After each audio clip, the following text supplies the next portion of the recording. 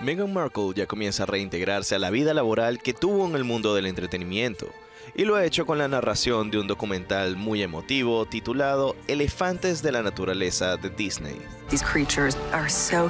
Estas criaturas son tan majestuosas y al mismo tiempo son tan sensibles y conectadas. He tenido mucha suerte de contar con la experiencia de trabajar con elefantes en su hábitat natural. La inspiración para el proyecto nació en 2017, cuando junto a Harry visitaron el evento caritativo Elefantes sin Fronteras en Botswana.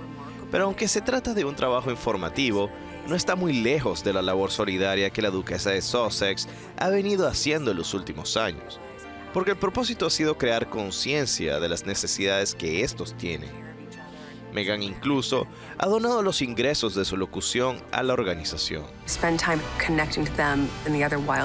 Cuando pasas tiempo conectándote con ellos y con otras vidas silvestres, comprendes que tenemos un rol que jugar en su preservación y en su seguridad. Vemos en esta cinta cuán notables son. Sus memorias son impresionantes, su relación con la manada y la protección que ofrecen a los más pequeños. Creo que son mucho más parecidos a nosotros de lo que creemos. La relación madre e hijo entre los elefantes ha sido uno de los detalles que más ha tocado el corazón de Meghan, además del empoderamiento femenino que existe entre ellos, pero en un marco de liderazgo con sentido.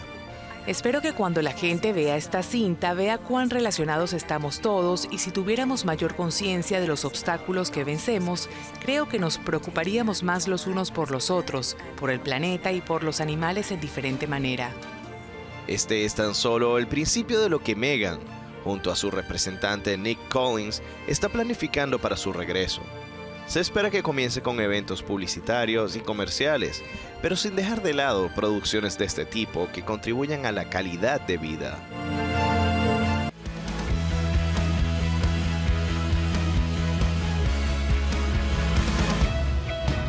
Quédate con Hola TV.